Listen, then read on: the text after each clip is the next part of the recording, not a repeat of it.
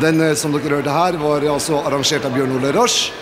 Bjørn Jørgensen og Jahn Teigen. Og så gjør vi alltid her i Hotel Royal Christiania om til Café Le Swing, for det er altså tittelen på Melodi J. Komponisten heter Robert Morley, bor her i Oslo, østlandsområdet. Det gjør også tekstforfatterne, Finn Jansen og Eva Jansen.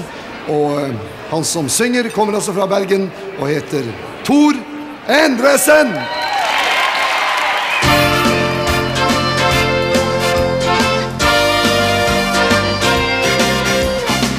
Mig, for at leve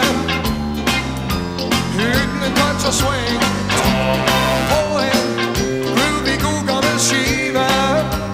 Tag nu en dansetrin En jukebox Spiller dansemusikken In the old fashioned way. Du kan rope okay. Når det svinger for dig. Og danse tæt med mig.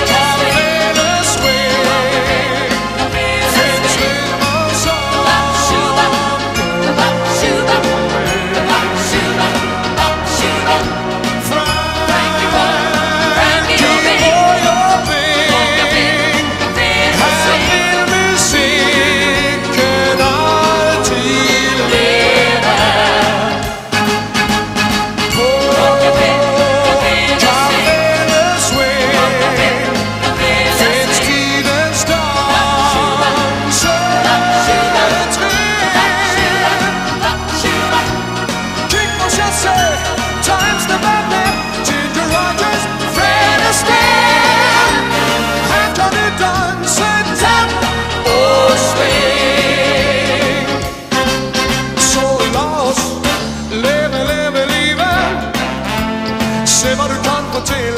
For om du lægger blusen til side, lukker du frem et smil, så lad nu musikken være til stede.